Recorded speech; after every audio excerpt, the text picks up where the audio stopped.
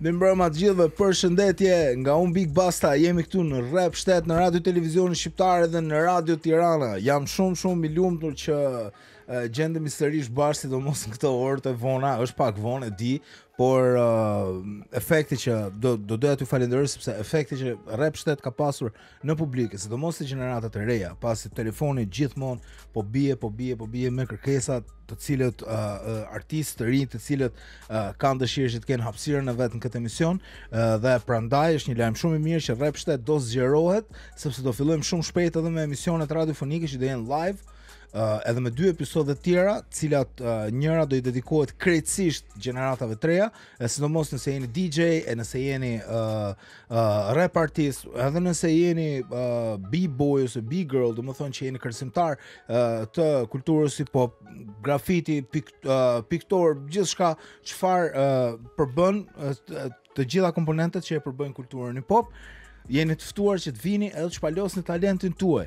Tani nuk mund t'ju them tamam një datë saksisht se kur do jetë, se kur do fillojë, por që do ta ndiqni shumë shumë shpejt me reklamat që do të shfaqim në televizion, edhe që do të jepen edhe në radio. Por megjithatë, rikthehemi këtu në emision, sepse unë kam i ftuar ë uh, një të ftuar i cili kam shumë vite që punoj me të, ai ka faktikisht ai është 15 vite në tregun shqiptar të muzikës, nuk është uh, artist performues, por por është uh, ai që rri prapa kuintave, është gjithmonë ai që rri prapa prapa kompjuterit, është një producent, një producent shumë i mirë, është një producent i cili ka treguar veten e tij dhe aftësitë e tij me shumë këngë të cilat ai ka prodhuar. Uh, e nisi me rrymën trap dhe pastaj ka kaluar në të gjitha degëzimet e hip hopit Ka bashkëpunuar me artistë më në zë, me video dhe këngë të cilat arrijnë miliona shikime në YouTube, por edhe miliona streaming në Spotify. Zonja dhe zotërinj, që mos ta zgjas më tepër, është Klaudio Myrtaj, aka Trinium, si të kam vëlla. Përshëndetje Bigo. A je mirë? Mirë, faleminderit. Si si ndihesh se e di që të kam marrë me zor? Ti s'para jo, del. Jo, nga që është hera parë, domethënë normal që kam pak emocione, po jo shumë, se Ma ke emocione të jemi, jemi pothuajse, pothuajse gjatë gjithë kohës domethënë po, po. bashkë edhe por që ndihem shumë shumë nice dhe shumë faleminderit për ftesën. Jo, shumë faleminderit ti që erdhe. Tani normalisht sepse ti e ke rolin tat e ke rolin tat shumë të rëndësishëm. Po. Kështu që tani po, dhe kështu që normal që duhet të vije këtu, por kam qejf domethënë që kam qejf që ta shtjellojmë shumë këtë punën, këtë punën e produksionit, këtë punën tënde. Po. Kam qejf që të tregosh shumë edhe nga eksperiencat e tua, domethënë edhe me artistët që ti bashkëpunon, ë uh, edhe si e shef të ardhmen, e të tjera të tjera, domethënë, por që në fillim kam si si si me çdo të ftuar, kam qejf që ta nisim nga gjeneza. Po. Tani, gjeneza jo kushtet e lindjes. Por uh, gjeneza në sensin si filloi lidhja jote me hip hopin? Uh, Pse pikërisht me hip hopin? Uh, jo, un unë do ta nis si filloi me muzikën dhe të arrij te nga e more, si e more. Po. Okej, ha. Ë, unë e kam marrë shumë nuk e di, shumë çuditshëm këtë pjesën e hip hopit. Ose po e kapim nga muzika, kam kam mësuar kitarën që 6 vjeç. Edhe më ka mësuar një kushuriri im që kishte nevojë t'i mbaja thjesht ritmin kur ai binte solo, i binte solo kitarës, e ke parasysh? Mm -hmm. Edhe aty domethënë fillova e mësova vetë pa nota pa kështu thjesht akordet gjërat. Kitarë. Kitarë. Oke. Okay. Edhe prap i vogël kam pas qen kur shkoja te tezja dhe djali tezës tim dëgjonte Eminem. Domethënë thjesht m'u ngjit nga ai. Domethënë bëhet fjalë për fillim vite 2000, ha? Nëntëdhjetë...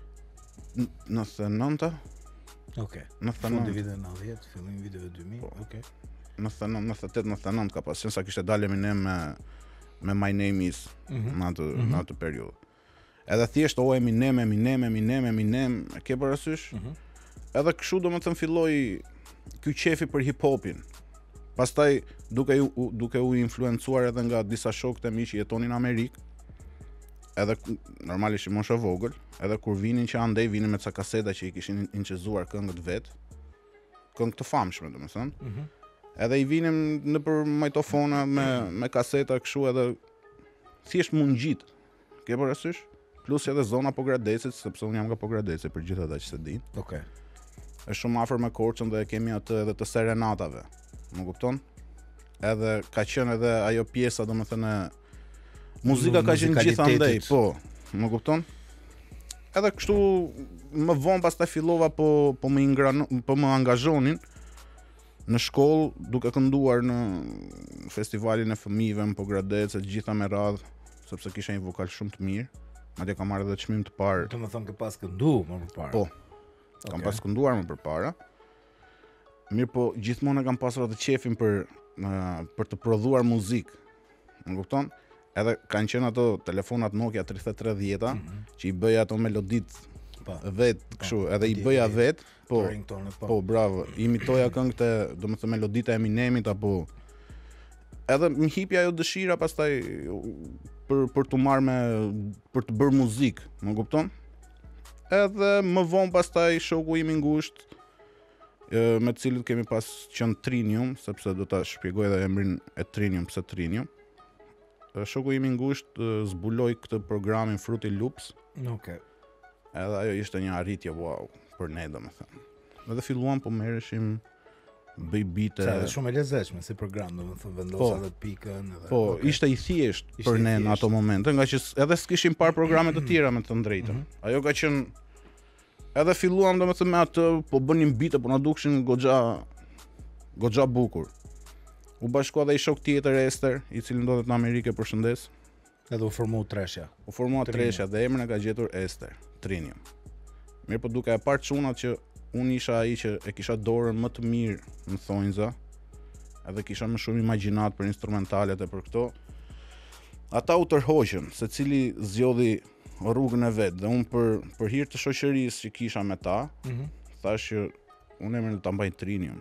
Deri në momentin që që do lë muzikën, domethënë emri im do jetë Trinium. Edhe emër shumë shumë i gjetur. Po, eh? po. Okay.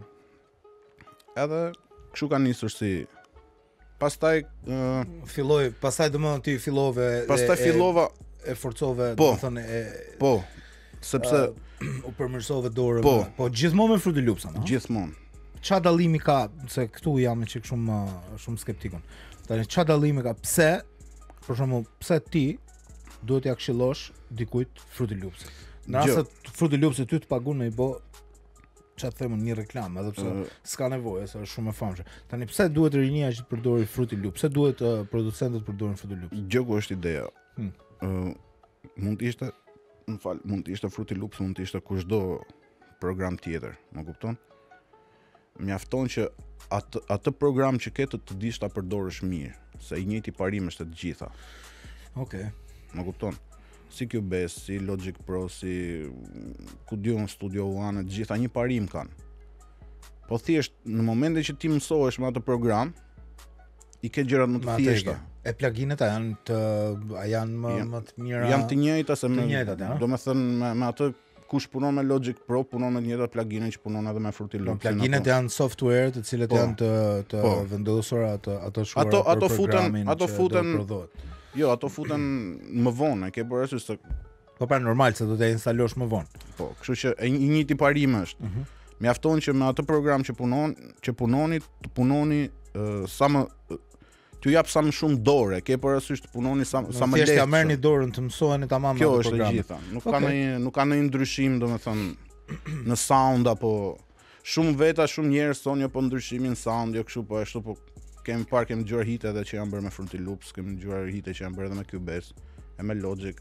Po ka hite që janë bërë edhe me telefon, bro. Edhe me po, telefon. Edhe me, edhe me Yamaha Timberland ja atë i bënte me i bënte me me Yamaha Fix. nga ato të vjetra që ja bënte Missy Elliott. Po. Jam shumë dakord. Tani do cek pak punën e Pogradecit. Po. Miti dhe legjenda është që ë uh, duhet të vish në Tiranë që të bësh e kupto emrin. Tani unë e di që ajo e ka një start. Cilido që jeton për shembull Pogradec, ose në Korçë, ose në Vlorë, ose gjithkah, aty e nisin me atë karrierën e vet, domethënë po. atë në më startin e, e, e karrierës tyre. Tani, jam shumë kurios të di, e kam pak a shumë një lloj njohurie, e kam pas edhe atëherë një lloj njohurie, e po. dija, po ishin shumë të paktë, edhe shumë të rrallë komuniteti i hip hopit. Kur flas shumë të paktë, ishin se ishin vetëm 5 veta, a kupton? Po. Tani unë e di që tani sot e kësaj dite është zhvillu shumë. Edhe e di që ti ke një njohuri shumë më të madhe për zonën andej. Edhe e di që ka shumë talente nga Korça, edhe shumë talente nga Pogradeci. A mund të më thuash jo vetëm mua, po edhe edhe publikut që po na dëgjon në radio, Radio Tirana tani, po edhe publikut që po na shef në televizor të radio televizionit shqiptar. Si funksionon aty domethënë? Si është bërë puna e hip-hopit? Si a ka a ka koncerte? A ka a ka një organizator konkret? A ka një të a do a, a do ndihmosh ti sa më shumë? për atje. Gjë, si është puna. Ë në moment, domethënë në kohën kur un kam pas qenë në Pogradec, ë hmm. ka pas qenë periudha, do më thënë, uh, kur doli noizi, doli stresi, dolën disa grupe të tjera, edhe ishte ai bumi i, i hip hopit në thonjza. Më kupton i hip hopit underground. Za filloi hip hopi modern, okay. po. Modern edhe underground. Edhe kishte goxha. Ka pas qenë Aldo një një prej tyre, ka mm -hmm. pas qenë edhe çuna të tjerë. Por që është ajo uh, nuk e di Tirana prap sado që themi, o po pse duhet të vish në Tiranë që të bësh muzikë e t'gjitha me radh. Tirana të jep mundësi edhe për njohje më shumë të jep mundësi. Absolutisht se janë televizionet e në atë të ndërë atë djetët. Kështu që atëherë, kur mbaj mend unë në atë periudhë ka qenë goxha mirë. goxha lart domethënë ka pasur shumë çuna që merreshin me hip hop. Po si funksionon, si funksiononte edhe atëherë edhe tani, a ka organizime? Nuk jo. Po pse? Nuk e di, un kam kohë që jam shkëputur që nga Pogradeci dhe nuk e di fiks si funksionon po edhe si. Po ti kontaktet po i mban, se ti po po, po i ndihmon në studio ata domethënë po. Absolutisht, po të gjithë domethënë domethënë un di ça bëhet këtu kur vin ata këtu. Më kupton ça them sepse aty ata nuk gjejnë hapësira, nuk ka studio muzikore për shembull hip hopi apo ku di un që që ata të hyjnë të të regjistrojnë apo të Domethënë ato vin këtu ato që t'ia dalin këtu. Vin këtu që t'ia dalin që që t'ia dalin këtu normal. Po pse? Po pse nuk bëjnë? Domethënë jam dakord me ty, e kuptoj logjikën, po pse pse nuk pse nuk e zhvilloni? Si çdo biznes, si çdo biznes, domethënë tjetër, uh, epiqendra është Tirana. Më kupton? Po jam dakord me, po, bëhet fjalë për një dyqan të cilin ti po e hap në Pogradec në rastin konkret. A m'kupton, domethënë a, a do realisht e shoh shumë të rëndësishme, e shikoj shumë të rëndësishme faktin që të zhvillohet në nivel lokal nëpër qytete ose nëpër zona t'ndryshme, e shoh shumë të rëndësishme. Sepse pastaj i bie që do do të vinë të gjithë në Tiranë, mendimi im, ëh, tash Po, hajde kuptoj, hajde hajde kuptoj. të debatojmë, ëh. Prandaj kemi podcastin. Por do do të vinë të gjithë pastaj do përplasen te studio jote. Se duhet t'i bësh edhe ndere njerëzve. Ore, Shumë isnë raste. kush më tash një, në vë- kush më një e di që unë bëj ndere pa fund. Prandaj pra po them, kështu që tani si si mund t'i eliminosh ato nderet? nuk e di nuk të them të drejtën. Duke ndihmuar sa më shumë pjesën lokale. Të them të drejtën, të them të drejtën nuk e kam menduar ndonjëherë kaq gjatë. Me të thënë të drejtën. Ndihma e vetme që unë ju kam dhënë çunave, domethënë është hajde në studio, hajde punoni Ti më ti ke qenë promot, ti ke qenë promotor, një, një nga promotorët kryesor, më për te njofta, domethënë u, u njoha shumë me me me, me ça ndodhte po. atje, domethënë se ti ishe që i sillje po, shumicën e artistëve. Po. Por që por që nuk nuk nuk di të jap një përgjigje konkrete domethënë për këtë pjesë. Më kupton sepse jam shkëputur nga realiteti andej. Edhe të them drejtën jam fokusuar për fat të keq, mund të them jam fokusuar për fat të mirë që jam fokusuar te puna ime këtu dhe për fat të keq që kam hequr vëmendjen që andej. Më kupton? Por që A, a ndjen, ka fjalë për shumë kështu se do do më kam përshtypjen që është komunitet relativisht jo jo shumë i madh. Ka fjalë ndihen të tradhtuar domethënë që ti nuk i Jo, jo sepse un përsëri ja u jap atë ndihmën time, ke parasysh? Sepse një orë gjys larg është apo fund fundit, po, as një orë gjys dhe edhe me online. Më kupton. I ke gjithë. Edhe jo për pjesën e regjistrimit po flas edhe këtu. Okay. Un kam ndihmuar shumë edhe vazhdoj ndihmoj edhe do ndihmoj. Më kupton? Por që nuk mund të bëj diçka uh, fiks për Pogradecin, në Pogradec. Okej. Okay. Kjo është ideja do. Për, nuk e kam mundësinë për momentin. Ti edhe për Korçën i ke pas ato ato lidhjet. Po, e, kam pasur, po, kam pasur edhe në Korçë, por çunat janë janë shpërndar edhe Domethënë, në momentin... Ça po bëjnë? Ça po bëjnë? Jam, jam shumë kurioz ta di, domethënë nga Korça për momentin, Young Zerka është top, oke? Okay? Young Zerka, ka pasur edhe talente, shumë talente të tjerë. Ka qenë Trupak, ka po, qenë Trupak është underground, ama. Po. Është, ka kalu në, në underground niveli social. Po, e ka po. Por që për në atë, në atë periudhë kur kur ka shpërthyer ka qenë domethënë, ka qenë goxha lartë, e ke parasysh mund ta quanim komerc në atë kohë. Po mu? Në, në këngët Bitch, Bitches personal okay. ka pasur disa këngë. Edhe them drejtën ka disa kohë që i kam shkëputur edhe marrëdhëniet, mbase se kështu i sjell jeta gjërat, Më kupton? Mhm. Mm Por që nga çka kam dëgjuar është duke punuar. Trupaku. Po. Po pra, uh, më duket është në Greqi. Në Greqi, po. Iku. E përshëndesim Trupakun. E përshëndesim Trupakun, është i po. jashtëzakonshëm. U, u bë edhe viral me me videot e fundit. Ka pas edhe një që përmendte Adhurim Demirin, do të po, thotë ka pas bashkëpunim, po. ka pas edhe një tjetër pasaj që bën. Një dy më ka po. pas me. Tani Uh, është shumë tekstshkrues i mirë. Mm -hmm. Jashtëzakonisht shumë i mirë, mirëpo ka atë botën e vet, do të bëj ato gjërat që atij i pëlqejnë, nuk do që të dal në domethënë ta ta thyejë atë akullin e undergroundit e ke parasysh. Ka qejf të bëj ato, i ka shumë të bukura, por që mbetet aty. Ok. Më kupton? Po po po, e, e di, e di. Ama po megjithatë për shembull ka shumë njerëz që e pëlqejnë. Absolutisht. Po fshihet në të dy, domethënë ne e pëlqejmë shumë. Absolutisht, absolutisht. Por fakti që ka zgjedhur të bëjë Ai ka zgjedhur atë, po. Është, domethënë varet edhe se si jeta ti sjell mundësitë, më kupton? Po a ishte e vështirë për ty për shembull? A, a ishte e vështirë atëherë për ty? Ah. T'u përballje me me komunitetin. Kur kush është rryma që pëlqen më më shumë ti? Të Hip hopi është. Hip hopi. Hip hopi. Do të thotë pas e pas një vështirësi shumë të madhe. Jo, të them drejtën jo.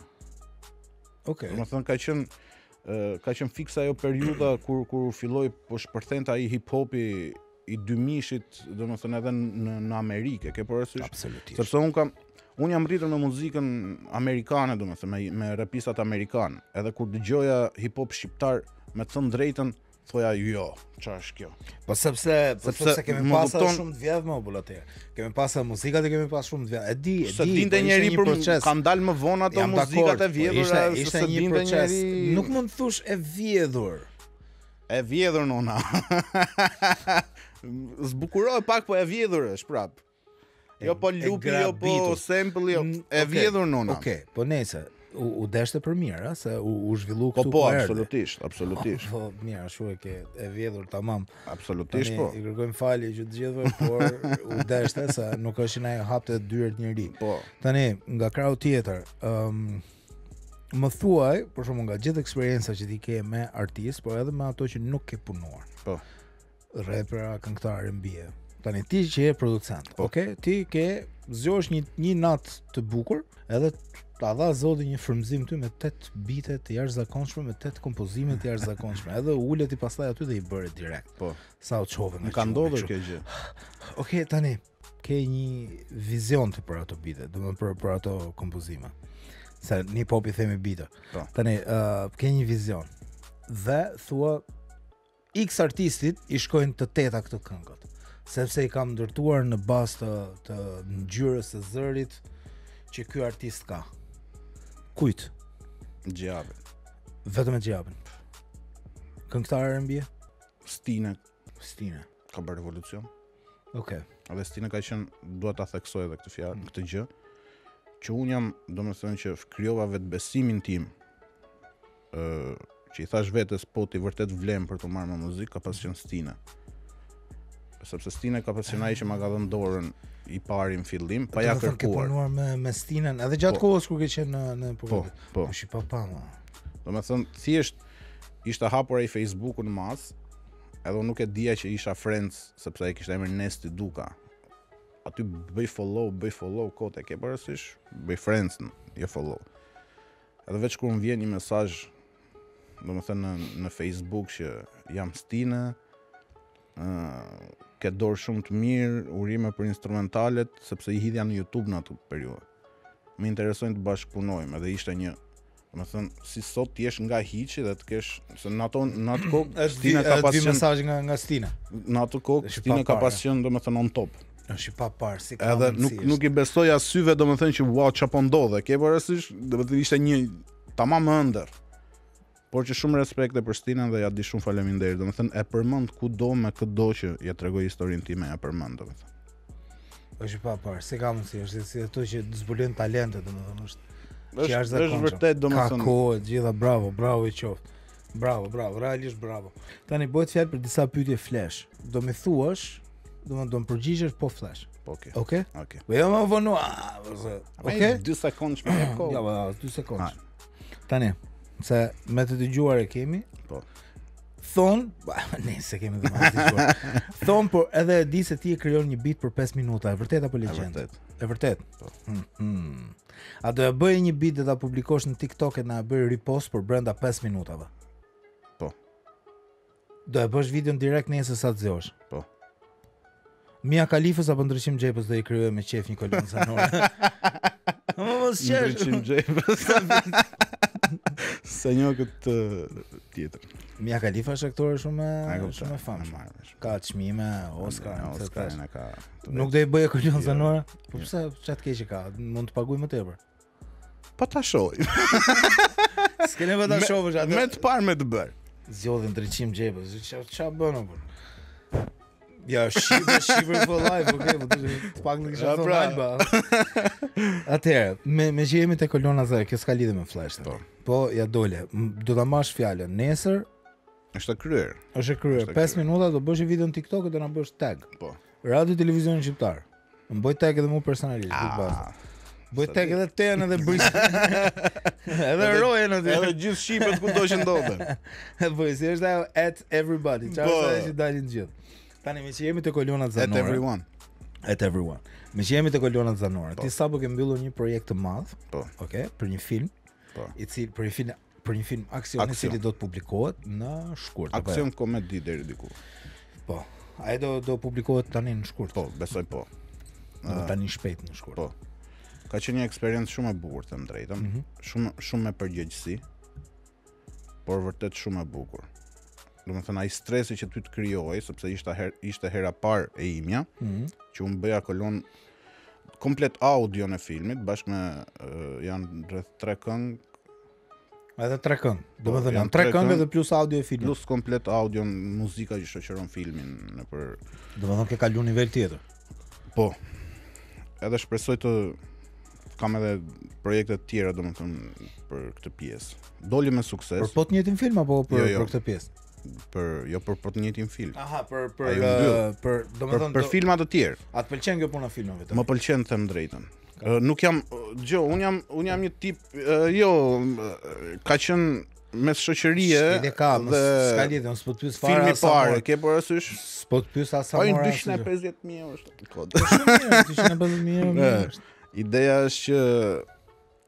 unë nuk jam i fokusuar veç tek tek trepi si muzikë, më kupton?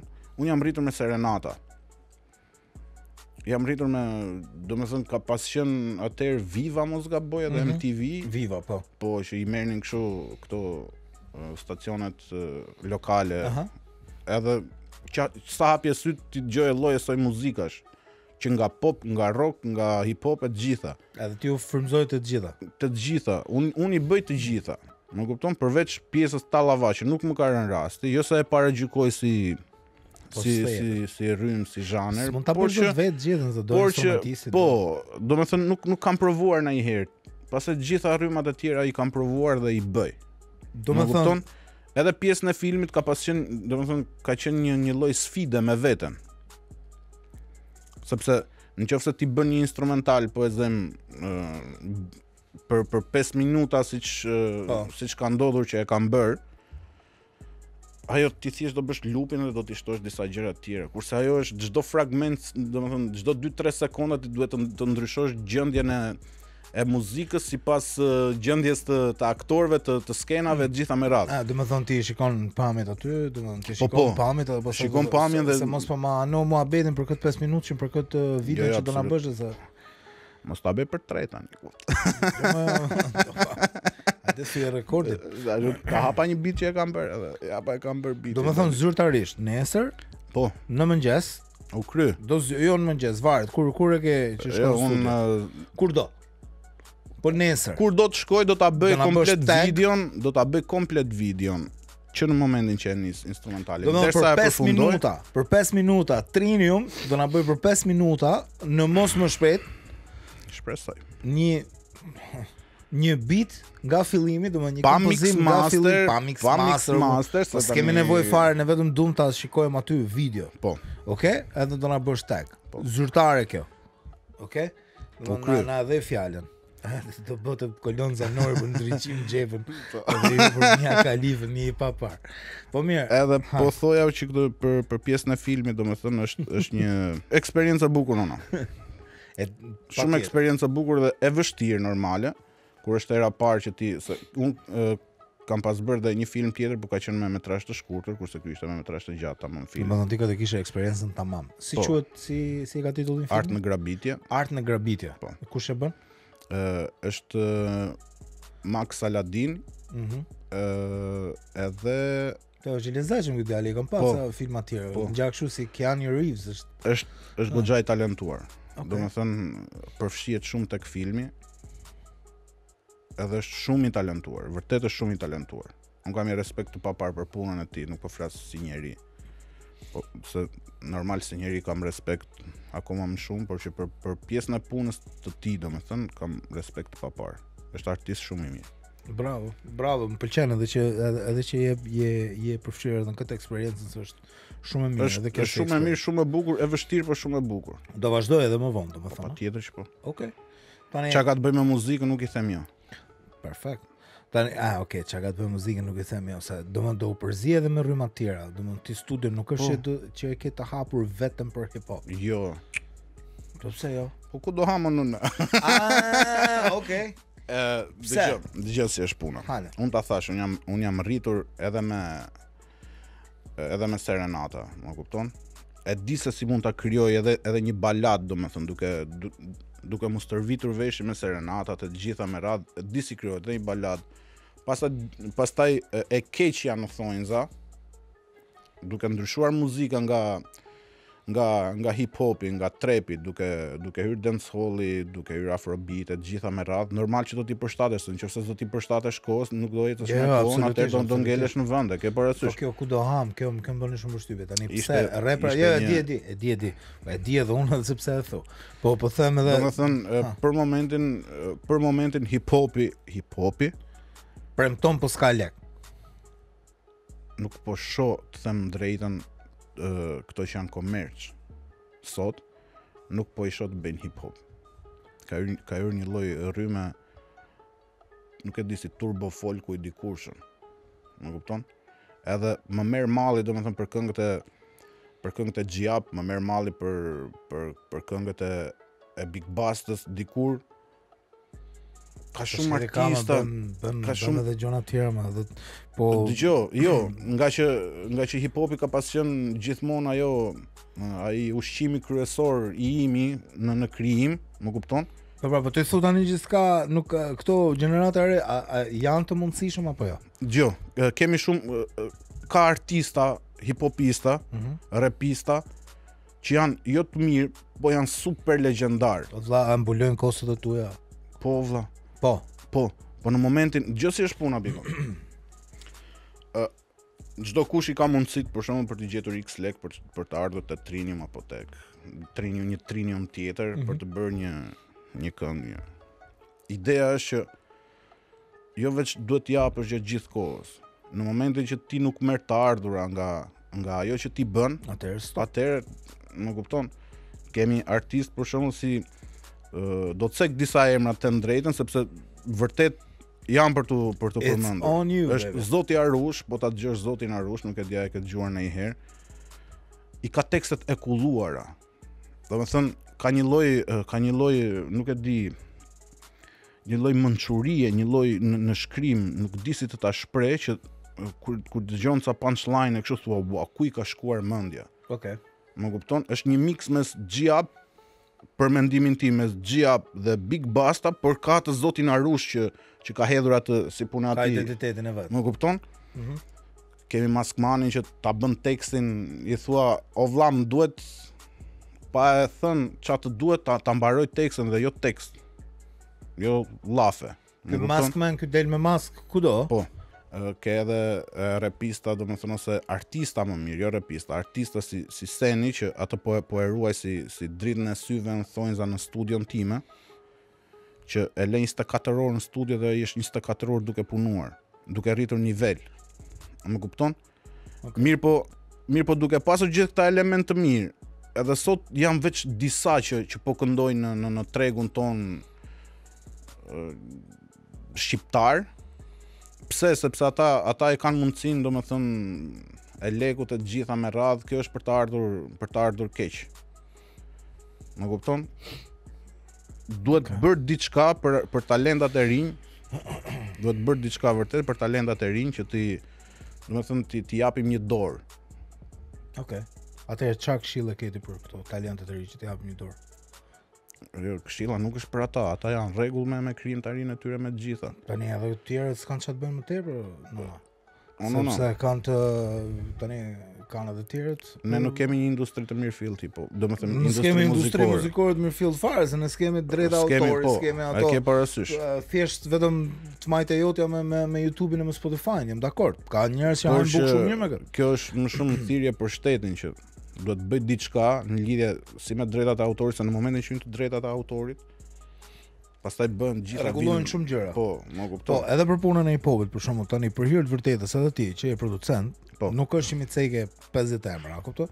Do të thotë ti më ceke vetëm 5, edhe maksimumi mund të kesh edhe 5 të tjerë. Tani ti je i sigurt që këto të 10 edhe edhe 100. Jam dakord. Janë janë 100 talente që realisht që i shef që nesër pas nesër realisht. Ça thua nona? Edhe shumë prej tyre kanë hequr dorë. Ka mm. pasur nga ata që kanë hequr dorë veç nga nga fakti që nuk kanë pasur, domethënë, nga pamundësia dhe nuk kanë pasur edhe një një feedback, domethënë, monetar nga Atëherë ja ku jemi këtu, edhe me zgjerimin e rrep shtetit të ri, që do bëhet edhe me emision në radio, gjithë talentet Bujrum, je i ftuar t'i sjellësh. Po patjetër. Ti e di shumë mirë që puna jo, bëhet në ekip. Kjo kjo është normale. Kështu që ka mund të ketë yllin në ballë të në në tekst apo interpretim, po s'e ka yllin në ballë menaxhim, nuk e ka po. yllin në ballë menaxhim. Menaxhimi unë ky është ky është më kryesori. Ja, hajde të punojmë sa më shumë edhe t'ia t'ia bëjmë. Unë jam gjithmonë për sfida jam gjithmonë gati. Vëlla, të falenderoj shumë që erdhe këtu. Shumë faleminderit. Je i paparë. Edhe të uroj sa më shumë lart e më lart. Shumë faleminderit. Aty ku e meriton. Faleminderit. Okej. Okay? Faleminderit. Faleminderit të gjithëve. Do shihemi prapë pas pak. Mirëmbrëma të gjithëve. Përshëndetje nga unë Big Basta. Jemi në pjesën e dytë të emisionit. Pjesën e parë patëm një uh, producent, një djalë shumë simpatik edhe me me punët e veta që ka bërë me kontributin që ka dhënë për hip hopin që është bëhet fjalë për Trinium që që të gjithë e patë edhe intervista tepër e këndshme, por tani pjesën e dytë në këtë intervistë uh, ose në këtë podcast uh, kam një djalë uh, të ftuar, një rapper, një artist, uh, edhe autor i disa këngëve. Ai faktikisht synon lart, është 23 vjeç, ë? Njëzet e dy. Njëzet e dy vjeç dhe ka vendosur t'ia dalë në rrugën e muzikës me çdo kusht. All in. Përveçse rapper, ai po konkurron edhe nëpër spektakle me talente të reja si këngëtar me një zë tepër tepër të veçantë. Kështu që kjo pjesë e dytë e episodit do ketë 40 uh, do ketë një orë bisedë me një nga artistët më premtues të shqip hopit. Dhe do fokusohemi te rrugëtimi dhe synimi i tij në këtë treg, se çfarë ka marrë. Atëherë kam nderin që të kem këtu në studio. Zonja dhe zotni, Ges Rabo. Yo, what's up? What's up, man? Qa po bon? Është knaqësia ime më e modhe të jem në një podcast të dedikum 100% hip-hopit edhe me një ikon që unë e kom pas pa shumë nga televizori. Shumë shumë faleminderit. Shumë shumë faleminderit. Jo, në radhë parë të falenderoj ty që që erdhe, sepse realisht e di që do jetë bisedë shumë e këndshme, edhe që do do fokusohemi, do fokusohemi uh, në shumë gjëra. Të kam parë, të kam ndjek, ë uh, them drejtën ka qenë Geri, Dervishi, Kastro, më ka fol shumë për ty. Ëh mm -hmm. uh, edhe plus edhe shumë shumë të tjerë, domethënë ça ça është puna me ty? Pse pse je kaq i përfolur? Po besoj se jam i përfol për arsyen e vetme që nuk kam lon vend pa shku. po okay. po bëj ky është viti 11 që un përfshihem me muzikën, flas për ëh uh, muzikë të nxjerr si produkt që nuk është pak, besoj se jam nga moshatarët e mi jam më konsistenti që po rri uh, pa, pa u dorëzu. Mm -hmm. Me thonë drejtën, dekadën që e kam kalu që ja kam kushtu muzikës, kam pa shumë njerëz të moshës time që kanë fillu, e kanë lonë, nuk i kanë dhonë shtys deri në fund, unë mendoj që në qofë se je hard worker edhe uh, vazhdon punon pa e pa e shkëput fokusin nga goli që ke, do ja arrish atë golin tat gjithmonë. Okej. Okay. Uh, tani du ta di si uh, që këtë pyetje ja bëj të gjithëve. Si filloi, si filloi lidhja jote me hip hopin? Ë uh, kryesisht para hip hopit uh, sigurisht që jam përplas me muzikën shumë kjo ndodh edhe si arsye që muzik në shpinë time është nëgju gjithmonë muzikë e mirë. Mhm. Mm edhe arti ka qenë, besoj se është në venat e familjes time, kështu që ka qenë uh, shtysa e parë. Pastaj ë uh, janë edhe faktorët që ndikojnë. Uh, albinizmi për shembull më ka bo ta shoh botën pak më ndryshe nga tjerët.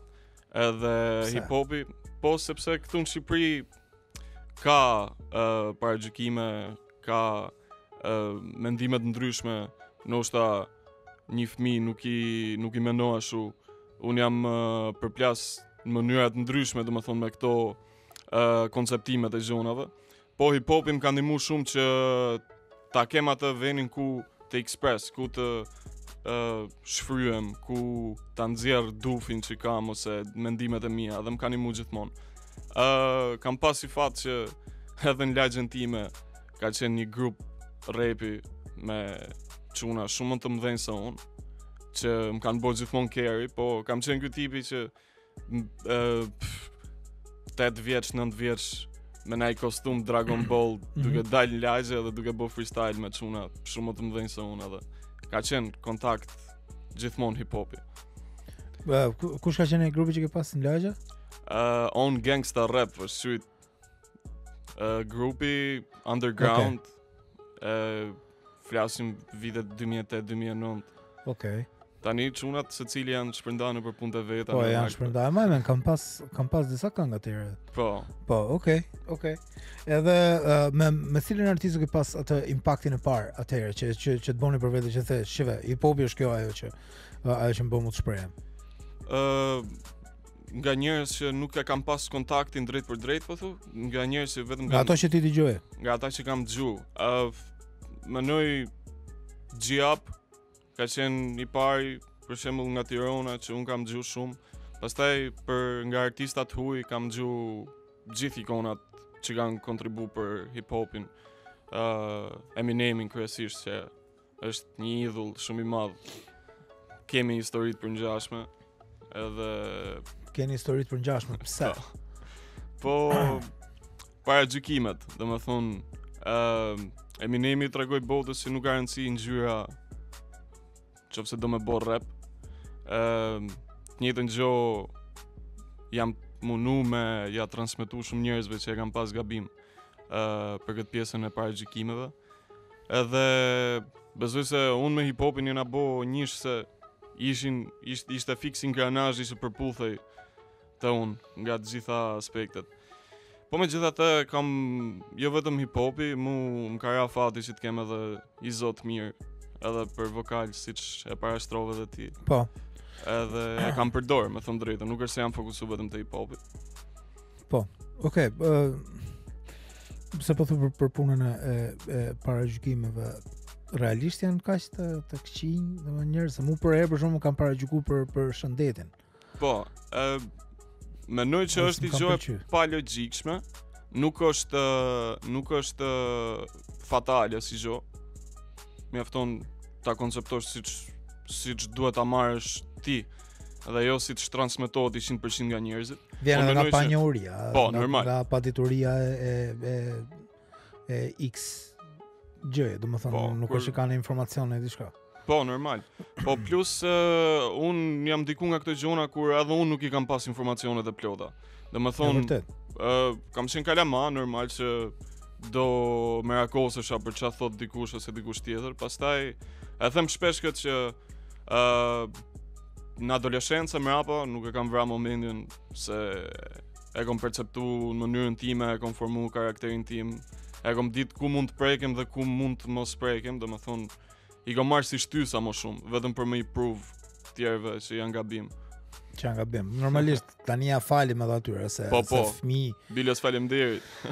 po, falim... E, e, e vërtetë, faleminderit. Për shembull, e, a ke mendu, domethënë që gjitha këto paragjykime, të t'i kthesh, t'i kthesh pro teje, në sensin, a mendon se të ndihmon shumë kjo lloj pjese, domethënë, a mendon se gjithmonë e ke derën e hapur? më ndihmon që të jem më më të kem më shumë krijimtari, të okay. kem për më shumë për ça me fol, se mm -hmm. nëpër tekste domethënë pretendoj të flas vetëm gjona që i kam bë. Mhm. Mm edhe normalisht që më ka ndihmu. Ëm uh, nga ana tjetër është një pikë që uh, do s'do do e marrësh vëmendjen si për mirë si për keq. Absolutisht. Do e marrësh vëmendjen, po kur shoqërohet vëmendja edhe me aftësi, pastaj është i plus shumë i madh për ty se të ke një një shkas për me tregu këtë aftësin më shpejt ose të jepet një mundësi që ke më pak për me punu për me arrit.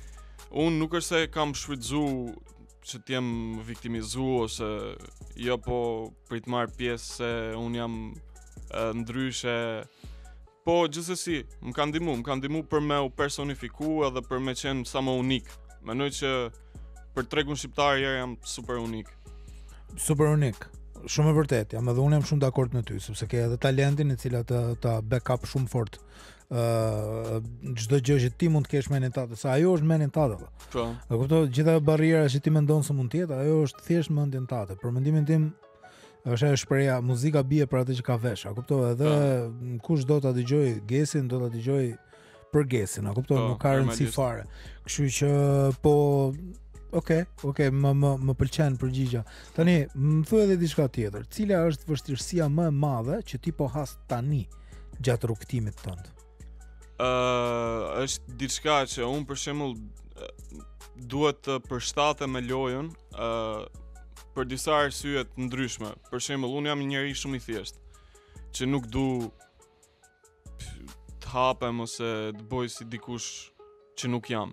Ëh, uh, në në anën tjetër pastaj janë njerëzit që në qoftë se të shohin si figurë të prekshme, e thonë ky nuk e, e humbasin atë reputacionin që kanë për ty. Domethën, ata mund të jenë gjithë natën duke pa videot e mia, këngët e mia. Nëse më shef në rrugë ose në një vend publik që të jem si figurë e prekshme, thonë, "A, ah, po mirë më ky, kështu qenka, qenka në të njëjtin vend që jam dhe unë." Po pse nga nga presin ato ti është nga po kjo është kjo është diçka një kompleks kot që e kanë njerëzit për mendimin tim sepse ë edhe imazhet më të mëdhaja të publikut që unë për shembull i kam pas pa nga televizori dhe i kam taku në real life janë super të thjeshtë, nuk kanë pse, për mendimin tim kjo është një diçka komplet e gabuar. Dhe kjo është ajo që po has më shumë vështirësi tani se sado të punoj, prapë uh, janë këto mendimet që të bëjnë të ndalosh pak. Edhe t'i përshtatesh pak rregullave të lojës. Po uh, ti a po punon apo je full time vetëm uh, artin. Unë kam punu gjithë kohës, tani këto kohët e fundit e, e kam lënë punën se nuk e, është kjo përshtatja e rregullave të lojës, si po thosha, se do s'do prapë, nuk është se e kam kompleks, po do s'do ndikohem sado pak. nga kjo gjë.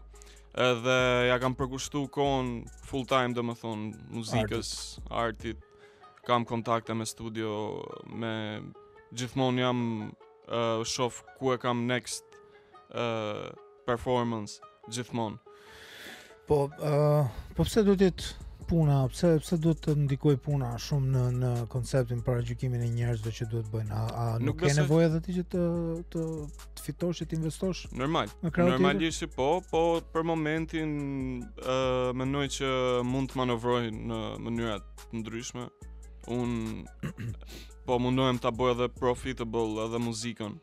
ë uh, qoftë nga streamsat, uh, nga këngët e publikuara, qoftë nga uh, writing, unë shkruaj këngë për tjerët. Edhe okay. kompozoj edhe vija melodike. Normalisht. Ke studion tate apo jo? Jo, punoj, punoj në disa studio. Po për momentin jam fokusu tek një studio që ashtu siç ka emrin ashtu është Young Dreamers. Okay. Edhe kemi sjellë domethënë kontentin tonë edhe në TikTok. Ë uh, videot po ecin, ë uh, punimet janë të mira, nuk po përqendrohemi 100% hip hop, po gjithsesi po shkruaj edhe për vete, po perfeksionohem si artist, po rrah veshin edhe me rryma të ndryshme që ndoshta nesër pasnesër do të duhen. Do më duhen. Okej. Tani, ë uh, një pyetje tjetër, sepse domethënë uh, të pashë edhe që je duke u marr me me ë uh, spektaklet e talenteve. Po. Ça ça kërkon të tregosh? Domethënë ça pse pse ti mendon se shqiptarët Ok, publiku shqiptar kudo që është e meriton të ketë Ges Rabon si artist vetin. Çfarë do sjellësh ti? Domethënë çfarë sjell ti ndryshe nga të tjerët? Ça të bën ty më të veçantë nga tjerët në, në krijimtarinë tate? Uh, tani miksimi i dy rrymave të ndryshme besoj që është diçka që goxha e veçantë. Mm -hmm. Unë kam kongët e mia që i paraqes, domethënë si ë uh, kompozime 100% të mia, origjinalitet kryesisht rap. ë uh, nga ana tjetër Kam edhe një zo që mund të bëj covera të çdo lloj kënge pop, balad, R&B, më të famshme të momentit, më in të momentit që mund t'i nxjerr nëpër emisione. Ë uh, kam pas shumë dështime, normal. Më janë mbyll shumë dyer, po pse? Aq herë. Pse t'u myllën shumë dyer? Ku kë kë fajson ti për këtë pjesën? Tani me drejtu gishta është gabim. Mhm. Gishti duhet drejtu gjithmonë vetes. Domethënë ti fajson veten tate pse e ke pas ato dështime. Po këtë s'mund ta them dot unë. këtë nuk mund ta them dot 100% a është vetëm faji im. Po janë ca gjona për shembull që jena mësu edhe i dim se si funksionojnë. Po besoj se kur nuk e ndje veten pjesë e një produksioni nuk ke pse e provo mo nuk ke pse shko mo që ta provosh unë nuk e di se si janë të gjitha produksionet kam tentu në disa emisione të famshme mm -hmm. goxha të famshme mm -hmm. uh, më janë myll dyer ama kam pa Kam pas edhe në emisione të tjera super të famshme që kam bo të njëjtën gjo, ama jam vlerësu edhe kam fitu. Edhe këtu ndërlidhen me gjona që unë nuk i kontrolloj dot normalisht. Po po po, a e di a e di për çfarë për çfarë e kam pyetjen? Unë e kam pyetjen, domethënë se ti ti e fut all in. Okej? Po. Me me çka kam pa unë. Ti e fut all in. Edhe ke një një një rush, ke një nxitim të jashtëzakonshëm në këtë moshë kaq të re, që duhet theksu. Edhe pse nuk je edhe aq shumë i ri 22 vjeç, a kupton se po. normalisht ajo do të fillojë që 18 vjeç ose më përpara. Tani pse pse gjithë ky nxitim? Ç'a është ç'a kërkon ti japësh? Domthon ku pse duhet që neve ta ta ta kemi për nder ta kemi guest rapën si artist. Domthon pse ç'a kërkon me pa me me me i thon' botës apo ç'a kërkon me i thon Shqipërisë? Po për mendimin tim ë uh Unë mund të përcjell shumë gjona që nga një këndvështrim që mund të rregulloj pikpamjet e shumë njerëzve. Bravo. Në qoftë se un konsolidohem dhe domethën afirmohem si artist shumë i madh. Mhm. Mm deri në pikën që njerëzit të më kenë idhull. Mhm. Mm Normalisht që do bëhet skip diçka që është paragjykimi, për shembull, njerëzit mund të mund të tregohen, mund nxjerrin konkluzione në kokën e vet. Okej, okay, ky është idhulli im. Po ky që e ka albino, ky që e ka ndryshe, po nuk paska asigjo me qenë kështu.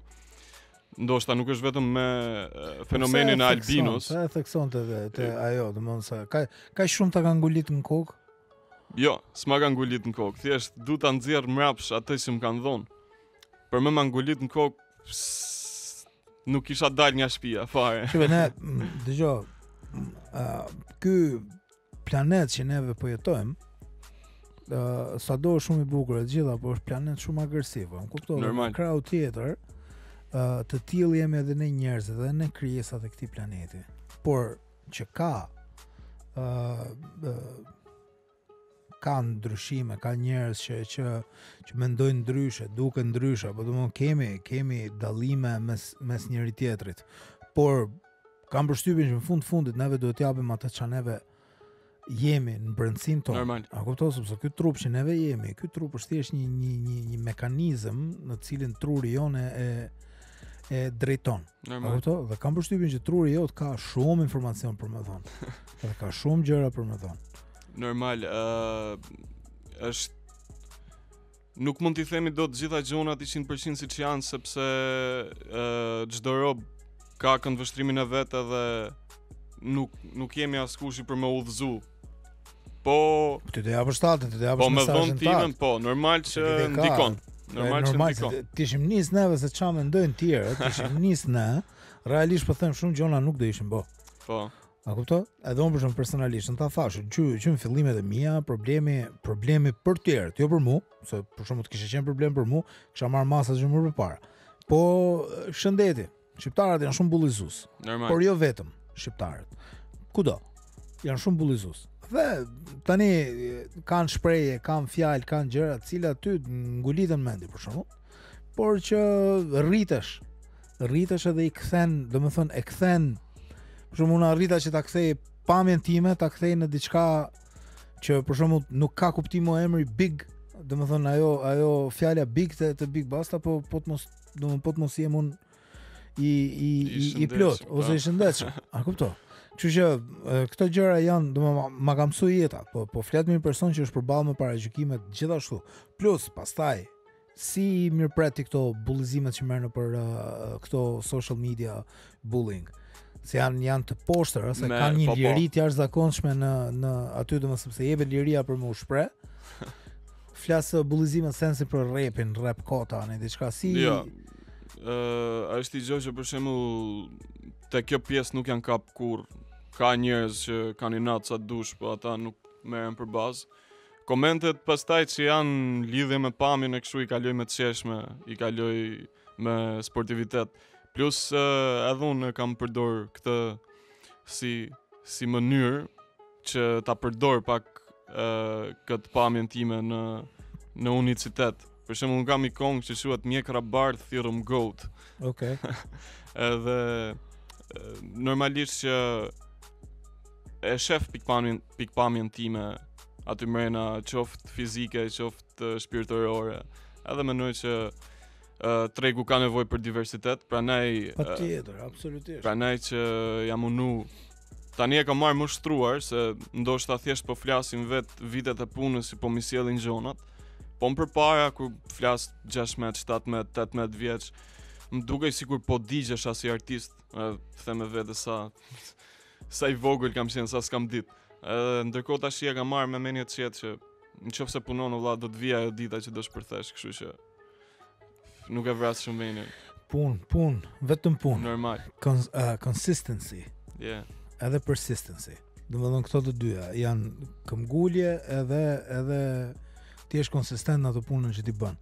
Këto janë ato për shembull që që, që të sollën ty sot edhe për hir të vërtetës je mirë edhe me me pëlqyeshmërinë që uh, po merr nga njerëzit, edhe me edhe me klikime, me uh, domethënë mënyrën se si uh, domethënë apo, apo investon marketingun online edhe në jo. views apo apo blen? Jo, fare, fare, fare. Nuk uh, nuk them se ndoshta nuk do e boj në të ardhmen se tash ti Do luash rregullat sipas lojës, po nuk du t'i blej. Po minimumi që mund të bëj është t'i bëj promovim suggestions. Apo promovon apo bën? Jo. Jo. Jo. Po përdor TikTokun si platformë se domethënë po me ecin videot, mm -hmm.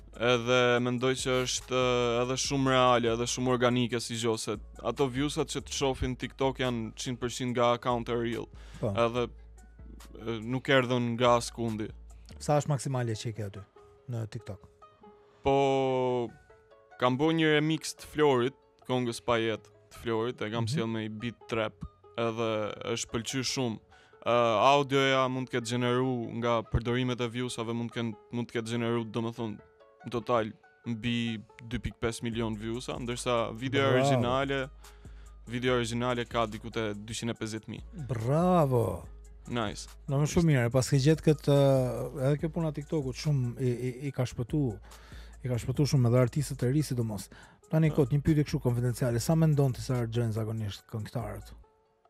Artistat për eh, për views ose informacione reale që i ke? Po tani mos me bo sens që i popullsi Ok, po marrim bashkë me diasporën më të madhen e mundshme, po flasim 10 milion shqiptarë që mund të jenë vërdall. ë uh, një kong që është 100% shqip të kapi 60 milion viewsa, mu m'duket no sense. Pse, po 10 milion e kanë nigju nga 6 herë. Po nuk kanë nuk kanë të 10 milion akses. shqiptarët uh, akses ose pëlqyeshmëri për atë lloj moshën, moshën ca janë të vjetër, ca janë fëmijë. Duket që është loj numrash, po që kush ndikohet tek ato dhe kush thotë që është i suksesshëm prej atyre, domethënë që ka i gjo gabim ke vetja e vet. E ky Capital T doli me një me një video, nuk e di a e ke pa. Doli me një video jo. me uh, një video kështu selfie të vetën që kishte bo dhe po po fliste për punën e Drake, rasti i këngës Polar Opposites. Polar Opposite. Okay? Dhe me views-at. Po. Që ai ka. Tani për shembull për momentin Drake ja një sekond sa ta bëj një një kërkim. Drake Polar Opposites sa viewsa i ka? Kjo kënga i ka 4.8 milion views. Okej. Okay? Dhe tani për sot që ne po flasim, ha? Tani del Capital T dhe bën një video dhe thotë që kjo kënga i ka 4.5 e kishte në atë kohë. Po. Milion views. Është pa, është ri pa, është promovu, është supportu nga të gjithë shqiptarët kudo që janë. Edhe ka Kaq views na thon. Tani ka këngë tha shqiptare që kanë nga 15 milion, nga 20 milion, 25 milion. Edhe tha the math isn't mathin. Do të thotë matematika nuk po matematikon. Tani sa drejtë ka pas ai? Edhe jo, shumë, edhe sidomos ai. Shumë këndvështrimi drejt. Capital T-ja për shembull është një nga artistat që mua më pëlqen. Ëh, mm -hmm. uh, ka bo këngë të mira gjithmonë, është i nigjushëm. Ëh, uh, Edhe duke e thonë nga ai që ka arrit shumë me muzikën, qoftë nga nga çdo lloj aspekti financiar, ë uh, famë e të gjitha. Ka ka super drejt se është Drake-u, është artisti më i përfolur i momentit, ndoshta më i suksesshëm i momentit. Po. Edhe ë uh, është i shifër shumë reale. Po, 4.8 milionë. Po, ke këngë shqiptare që për për një ditë arrin 5 milionë apo? Po, sigurisht. Okej. Okay. Po sa harxhojn? Sa harxhojn? A ke informacione sa harxhohet? Domethën ti do të shënosh apo? Okej, okay? do të kapësh 10 milion për 3 ditë. Po. Sa lek duhet të harxhosh, duhet të investosh në për në blerjen e këtyre? Unë mendoj se ka shumë mënyra të ndryshme për me ble klikim, klikime, domethënë ka po edhe sa mënyra më më e thjeshtë, sa sa lek hedhin apo? Sa lek se du ta di sepse është shumë problem i madh kjo.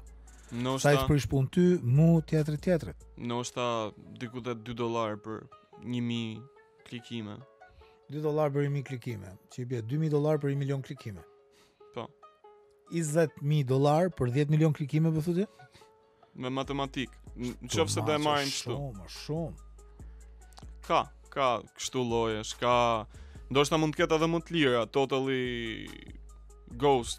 Po, si mund ta lejojnë kompanitë që publikojnë? Apo po, secili ka fitimin e vet, domethonë, networku i sotëm të bo që ti edhe mund t'jesh punëtor i kësaj gjëjes, ti mund mund të marrësh lek vetëm se po shef disa video në ditë për shembull. Se ka shumë punë online që janë po, me 20 milionë vëlla, kuptoj, janë 20 milionë klikime, por edhe ti po thotë që me, me atë logjikën ti po thotë 20000 euro. 20000 euro me i hedh për i këngë. A di sa vrastare është kjo për për artistët e rinj sidomos. Po ka ka nga këta që po blejnë 20000 euro i unaz. Nuk është se i vret shumë. për popularitet e për emër. Pastaj un thash, kush është i varur nga ato gjona, domethënë kujt do i bosh impress ti, do i bosh uh, disa njerëzve që nuk uh, e kuptojnë tamam ashtu siç është gjënë. Domethënë, nëse do isha uh, i varur nga klikimet un për shembull si Juice, uh mhm. -huh. do kisha idhuj të tjerë njerëz, nuk do kisha idhull Gjiapin që ka kong me 3000 klikime për shembull, a kupton? Se nuk është e varur aty e gjitha, secili e shef nga pikpamja vet. Nga pikpamja vet, shumë e vërtet. Okej, okay, do do ndalemi vetëm për një hapësirë uh, kënge që do të Uh, do të vendosim tani që është Eminem uh, Lose Yourself, që është kërkesë po e jotja, uh, direkt pas uh, pas videos do do do kthehemi prapë në studio. Jemi rikthyer prapë në studio, patëm një uh, ndërprerje të shkurtër mm, se normalisht me, me këngën Lose Yourself. Ajo është ajo është guest, ajo kënga Lose Yourself, ajo është si si si ikon, si leksion për për për gjithë reperat e ri që Që do vijnë apo jo? Ë uh, normal. Por në qoftë se do kishte në qoftë se do më thoshin a ka një kong që ti do të dëgjoje vetëm kët kong gjatë gjithë jetës tate dhe asi kong tjetër do ishte lose yourself. Vetëm lose yourself. A ke marr pjesë nëpër kështu nëpër, nëpër freestyles, në domethënë nëpër uh, evente qoftë edhe lokale, shumë shumë të vogla. Ke marr pjesë? Ë nëpër evente tamam të afirmume për freestyle battle nuk kam apliku. Ë uh, A ka në Tiranë? Në Tiranë nuk ka. Është bo në 2015 e fundit, po që un nuk kam marr pjesë, biles uh, ishte edhe Red Bull Kosova diçka e tillë që ishte u bo n'Prishtinë para ca kohësh. Po, para po, para disa javësh po. Po. A domethënë ti nuk i shpik në moment, i shkruan jo, apo Jo, un un bëj freestyle gjithë ditën, un kam bërë rap battle në rrugë Nuk është se s'e bëj dot, thjesht nuk kam nevojë me konkurru me njeri për këtë pjesë. Ok, domethënë funksionon edhe kështu. Unë personalisht por unë mendoj që të shpikësh rimat në moment është më pak cilësore sesa t'i shkruash edhe t'i bësh gati. Mendimi im. Apo mund ta gjesh veten edhe edhe në në shpikjen n'moment rimave? Uh, shpeshherë uh, m'bo vetja impresiono, impresionohem nga vetja që në moment mund të nxjerr diçka aq të bukur. ë uh, kur e bëj për qejf për njerëzit, se ka njerëz që duan shumë të më dëgjojnë freestyle edhe kur më kontaktojnë nga afër, ë uh, thon më kërkojnë që të bëj freestyle edhe najherë thon nuk ka shanse e ke t'shkrujtme. Po, edhe ajo ndjesia e momentit që ta bo trunin me lëviz aq shumë, është, është diçka shumë e bukur. Unë për shembull kam një artist të huaj që e, e kam pa shumë, është Harry Mack, nuk e di a të ka okay. ra najherë. Po, po.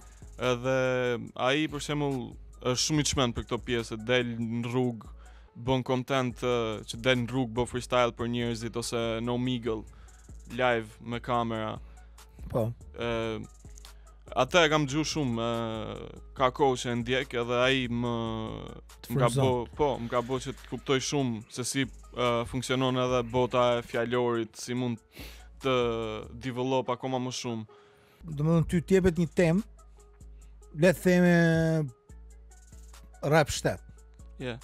Si mund të bosh katër vargje për rap shtet tani për shumë, moment, le të themi. Kot, po s'deshe, më po, po, po, po, patjetër, unë biles, bile... Du, du me të nxit pak. Biles unë e kisha si dëshirë, që... Hajde. Ok, jom live në rap shtet Me Big Basta Tirona iconic E maj mend si i vogël ke BBF-ja supersonic Ok Je, 2001 metën start bashkëpunim me Samantën e Lirik Alsonin Deri në fund janë grisha zonin Tu performu para shpis me pull tu bo sikur ishte mikrofoni Hajde njoni, bravo, bravo, bravo, bravo, bravo Ok, shumë mirë Perfekt Perfekt, e shumë shumë faleminderit. Po e di edhe që e di edhe që e ke edhe këtë pjesën tjetër që e ke përgatitme. Dhe jam shumë kurioz me dëgju, edhe e di që edhe njerëzit po na ndjekin tani, janë shumë kurioz të na dëgjojnë, ta ta dëgjojnë pjesën tënde. Për gjithë ju që e humbët ose që po e humbisni sepse po ju vjen gjumi sepse me vërtet është shumë vonë, atëherë do t'i keni të gjitha filmimet më të bukura Copëzat më të bukura në shortsa në Instagram, po edhe në TikTok në akauntin e Radio Televizionit Shqiptar. Në TikTok, Erian, wow, sa shumë. Kështu që do ta ndiqni live tani në Rap Shtet, Radio Tirana, Radio Televizionit Shqiptar, Ges Rabo. Ej, jo. Ej, Te angre pa zërin këtu. Ges Rabo, favorite i audiencës. Ta intimidohen nga mesazhet subkoshiencës. Jam fan sa mrena vetes, rrëngara e konkurrencës. Me te kongen e sturmën jam frytet e eksperiencës. Humble work stable tu s'ko martë për koincidencës. E nisa me muzikën më para adoleshencës. Ta me mu nuk shtyhen dot nivel t'inteligjencës. Unë e gjeta përjetësinë e këta me krizat e ekzistencës. Si origjinal normal që s'do të rritet figura.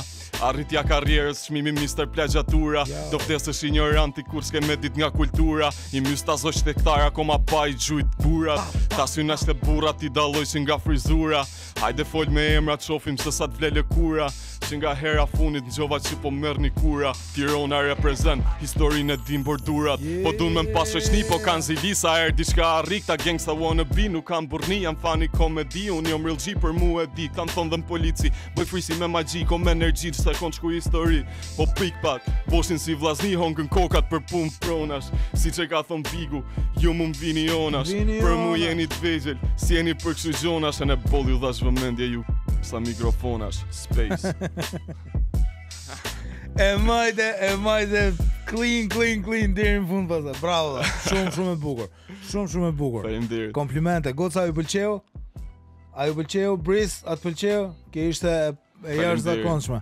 Bravo bro. Bravo, bravo, bravo. Shumë shumë e bukur. Ë hmm. mendoj që duhet i duhet vënë pak më shumë uh, prioritet lirikave.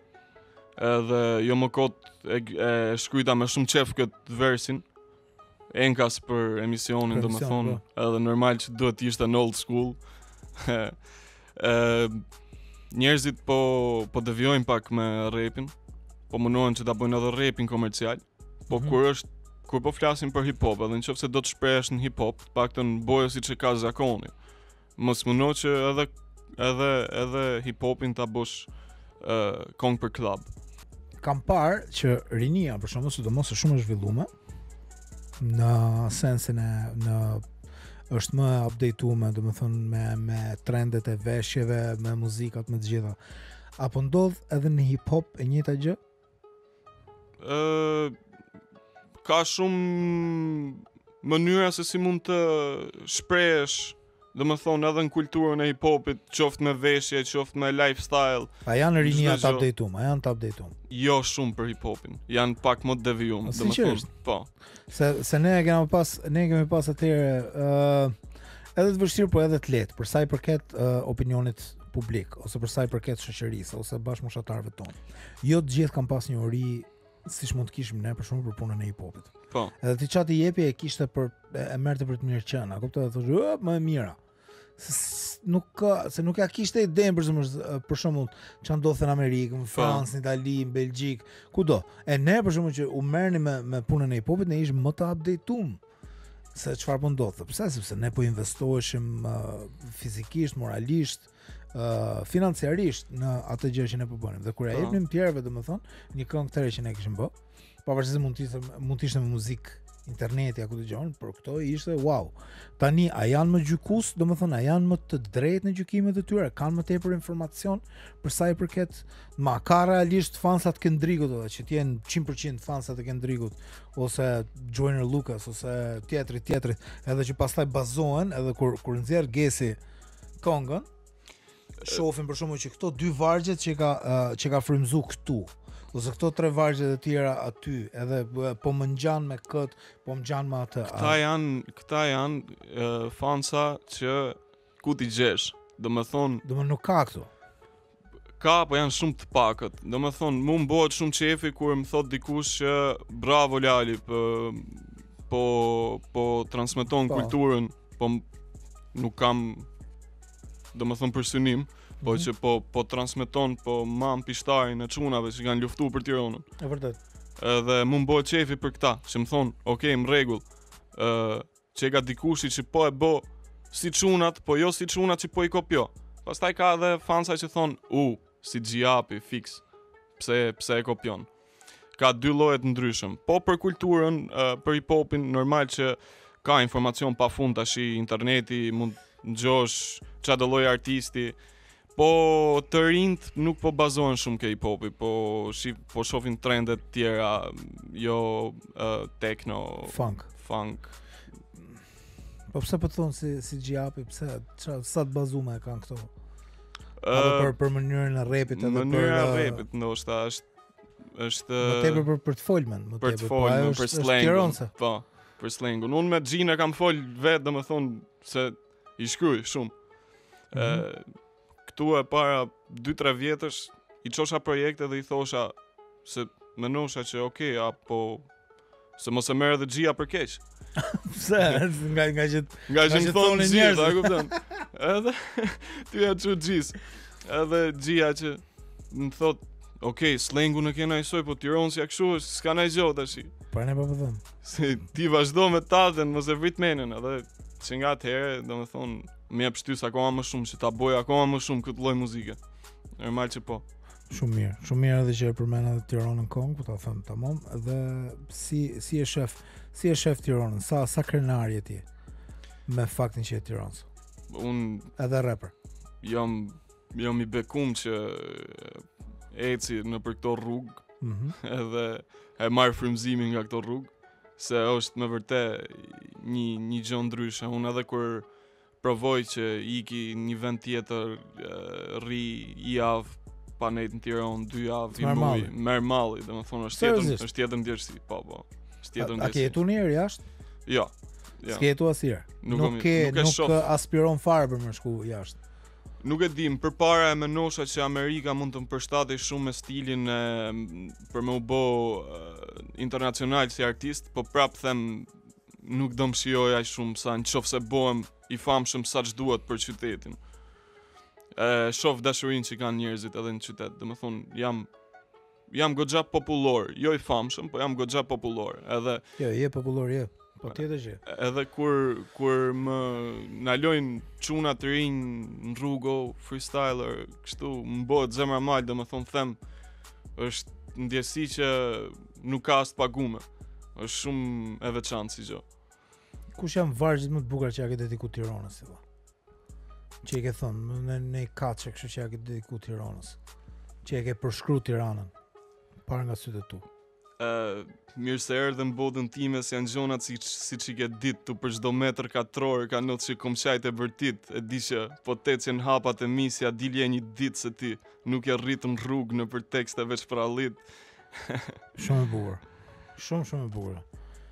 Domethonë, je, je, je krenar dhe po më vje mirë Normal Dhe gjaja më e mirë është që ti jep vetes tate identitet Normal Dhe mendoj, realisht mendoj, gjithmonë kam mendu Dhe do vazhdoj të mendoj Që Tirona ka një vend shumë të jashtëzakonshëm Sidomos edhe në kulturën hip hop uh, Edhe pse e i dëgjojmë të gjitha, edhe pse i i, i suportojmë që të gjithë, por prap kur vjen puna është edhe ajo siç e the ti e the fjalë shumë bukur. Të merr malli për vendin tat duhet ta përfaqësosh, duhet ta reprezentësh vendin tat, sidomos këtë qytet kaq të bukur që neve u u, u lindëm edhe u rritëm. Normal. Se këtë nuk e zgjedh dot kurrë ti. Se ku do lindësh? A kupto? Edhe ne lindëm Tiron. Edhe është gjëja më e mirë kjo. Edhe gjithmonë, gjithmonë edhe nëpër këngët e mia gjithmonë e kam përmend Tironën. Gjithmonë. Është shumë e rëndësishme që me u përmend Tirana. Është e rëndësishme sepse është siç është e rëndësishme me u përmend edhe qytetet e tjera kur je pjesë e atij qytetit tjetër. Sepse you have to. A kupto? Yeah. Sepse hip hopi është është territorialist. Si si si muzikë, si si rrymë, si kulturë. Kështu që ti duhet të përfaqësohesh me me vendin tënd. E kështu a je tifoz me Tironën apo me normal që me Tironën. Me Tironën. No. Okej.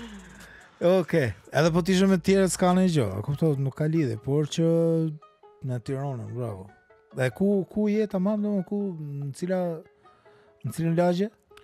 Tashi, uh, unë lind e rrit në Shkozë, po, mm -hmm. kom nejt në Ali Dem shumë, domethonë, edhe okay. për momentin po jetoj në Ali Dem. Oke, okay.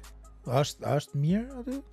Ashtë oke? Okay? Good job, nice. Uh, jena mbledh edhe kshu na, ka rastis që t'jena edhe disa çuna premtus për për qytetin dhe për për hip hop për hip hop po për hip hop ke pas ato e, janë ato se e bisedum pak përpara se të fillonim uh, podcastin ato dy djem që ke bërë bashkëpunimin po okay uh, ajo konga ishte shumë shumë e bukur nuk e di kush e ka bë uh, më fal ma, ma sillë edhe në memorie si e ka titullin këngë limonad limonad po. me d po limonad Është një produksion që nisi si një tip challenge-i te studioja që po punoj momentalisht. Domethonë ti je te uh, young, uh, young Dreamers Young Dream Entertainment. Young Dream Entertainment. Ë uh, filloi domethënë më kontaktoi ë uh, ai çuni që Dio, mm -hmm. që është goxha viral ka 100 mijë ndjekësa në TikTok. Ë uh, më kontaktoi, atëherë nuk njiheshim dhe më tha që kemi një challenge për me bo një tip uh, eksperimenti që ty një artist të ri t'i bëjmë një kong edhe i klip mrena 24 orëve. Edhe normalisht në atë kohë uh, un kisha grupin tim Dealers Numbers, DN. Ëm um, grupi i cili nuk ekziston mo siç ka qenë me tre veta, jemi në dy tash ti. Ë dhe u bo që ta nxirrnim atë kongën, është i kong goxha e lezetshme. Ë bashkëpunim i bukur, është prit mirë. Jo ishte shumë e bukur, nuk është që ishte vetëm e lezetshme, mu muzika për shembull mu më më, më shkatërroi. Është shumë e bukur. Domethënë muzikën kush po e bënte edhe një herë? Ë Dio apo? Dio Beats po. Po. Po. Nice. Edhe mix mastering, domethënë janë të dy çunat me emrin Dio, edhe e, producenti edhe beatmaker. Dio për Dionis. Dio për Dio për Dionis. Okej. Edhe bashkëpunimi pastaj i të gjithave si beat makeri, si neve që hudhëm versat tona edhe kompozimin tonë, si ishte i kongë me nume um, si mixi, masteri, edhe gjithçka, edhe klipi. Shumë, shumë e bukur. Pastaj ke, ke pas edhe këngën Meno që ne bëm hapjen e, e, e podcastit po, me ty. Konga edhe Meno konga Meno, shumë, Meno apo Meno? Së më Meno, Meno. Meno, po, ajo është. Meno është, po që në kongë i bi theksi pak ndryshe, i thotë, Meno. Po, ajo është i kongë që ka historik shumë bukur, me thonë të drejtën. Uh, është klipi im i parë.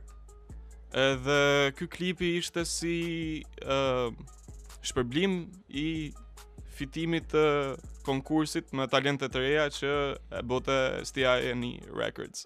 Stine. E ka bo Stine kur kur a po e di se edhe ke pas me Stinen. Kur e ka bo Stine këtë me talentet e reja ka ka pas konkurs? E ka bo në 2022-shin. Ah, e pastaj ti morë pjesë te Urta apo jo? Po, Urta ka qenë vjet. Urta ka qenë vjet. Po. Si, um, si vjet do bëjnë junior në të pastaj. Po. Ë, uh, te Stine domethon uh, mora pjesë te ky konkursi, e fitova gjithën.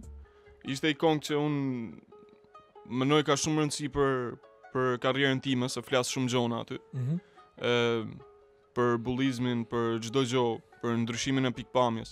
Domethënë është një një urë lidhëse e vetes time me fillimin e karrierës time. Mm -hmm. Tamam, tamam për mendimin tim. Ëm um, i kongë që i ngjiti edhe Stines direkt. Domethonë, ia performova herën e parë, që herën e parë pati impaktin që të fillon të, të bote tercat ato zonat mrapa. edhe në back vokale është fut Nesti te te konga. Bravo i qoftë. Çive ai një gjoni me goca, te edhe edhe Brizi, ve, në të gjithë të ftumet, në të gjithë të ftumet Stine është prezent. Është i paparë. Është i papam. Është i papam. Edhe edhe super impact, edhe edhe super feedback pati edhe me intervistën që e patën Stinen këtu, se Stine është shumë uh, shumë përtokë. A kupton, nuk ka nuk do me i bo qefin as vetes as po, gjë, po. por realisht që atëherë ka qenë, po, tamam punon hije thot Brizi, ai që atëherë ka qenë që zbulonte talentet. Edhe kishte qef të punote me talentet. Ai ose do jetë vampir që që jeton me me gjakun tonë edhe, po është është i mrekullueshëm, është i mrekullueshëm. Jena argëtu pafund se përpos atij projektit un qëndrova kena punu disa muaj me Nestin, domethënë te studia. Ë, pastaj secili zgjodh rrugën e vet. Po me Nestin jena argëtu shumë, kena nejt uh, shumë net tu punu deri mëngjes me, me kongë, se na përshtaten edhe rrymat, domethonë R&B. Nesti është i jashtëzakonshëm. Domethonë ti e ke pas, e ke gjet veten edhe aty, se ti edhe, edhe këndon. Normal. Po te këto, ne realisht, uh, me X Factor, o? Po, isha te X Factor. Je apo nuk je ma? Jo, jo, nuk jam mo. Pse? Ë faktikisht un doja që të merrja pjesë vetëm u bona pak nostalgjik që u kujtova që i kom pa shumë. Edhe jo vetëm X Factor Albania, po edhe domethonë formatin e huj që kam pa gjithmonë video edhe jam frymëzu nga artistë që kanë dalë aty James Arthur e tjerë e mhm, tjerë. Mhm. Dhe thashë ta provoja, Edhe faktikisht nuk është se e kam fol kët, e, kam dalë në TikTok, e kam fol pak, po nuk kam dash kurrë me u justifiku. Po mu më ndodhi që ecën shumë mirë fazat e para. Një muj prova gjona shumë mirë, perfekt. Mm -hmm. Pastaj në ditën finale të audicionit jam smur keq fare, domethonë nuk nxirrja dot zo. Edhe këtë s'e kam thonë naiherë, po e them tashi publikisht, po nuk po e them si excuse. nuk po e them si ankesë, po them thjesht që më ra fati i keq. Se mos të më kishte ra, nuk besoj se Po nuk t'i shtynin dot ato provat për shkak jo, ato. Jo, jo, ishte audicioni final i programuar me kohë nuk kishte se si të ndodhte. Un shkova e provova gjithsesi, po. po që nuk isha dot në 100%-shin tim. Edhe normalisht që juria do kapet ke gjoja edhe mo e vogël. nuk ndoshta nuk më njofin, nuk e din se sa kam për me dhon.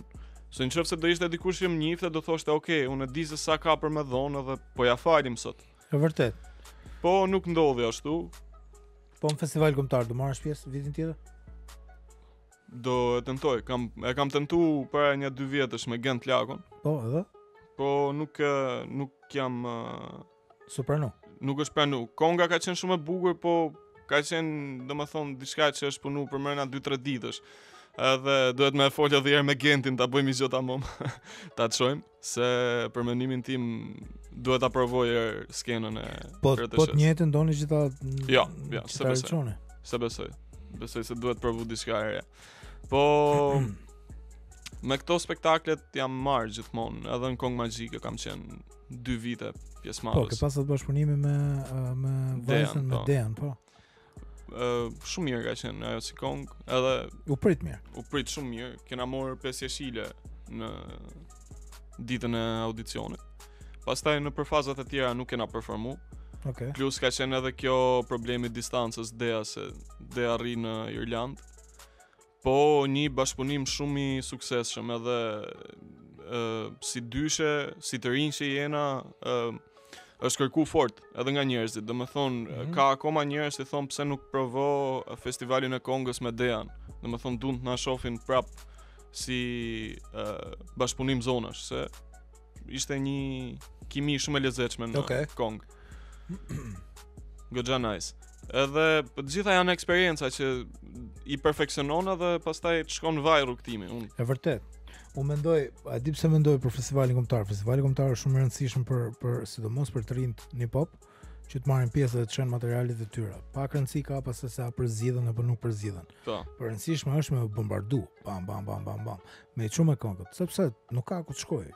Festivali kombëtar patjetër që do ta ketë popin aty. Normal. Edhe që do, edhe që ne duhet të përfaqësohemi sa më lart. Pse thonë festival kombëtar se është festivali i gjithëve. Po. Apo është festivali jonë. Kështu që prandaj, pastaj për festivalet e tjera, ok.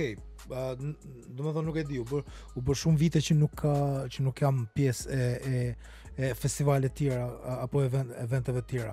E kam edhe këtë tjetrën se du të di tani që po bën këto uh, këngët edhe që po ndihmon si asistent producent ose edhe si producent apo i ndihmon të rinjtë, për shkak apo i A po jep shtys? Normal, normalisht që po. Un kam po bëj, un nuk jam askush i vet akoma, po gjithsesi me mënyrat që kom gjet, ndoshta më para se të tjerët, ë uh, po mundohem që ti ingranoj edhe të rinjtë që kanë brum ose që e shoh që kanë më shumë për me dhon.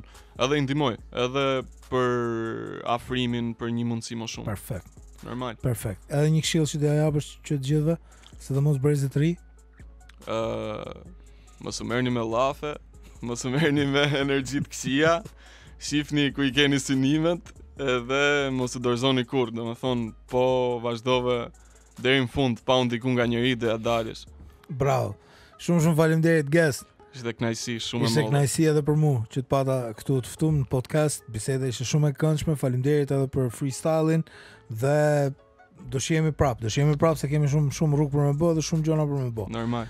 Ë uh, të dashur miq, uh, ju dëgjues të Radio Tiranës dhe teleshikues të Radio Televizionit Shqiptar, nga un Big Basta. Shihemi në episodin e radhës.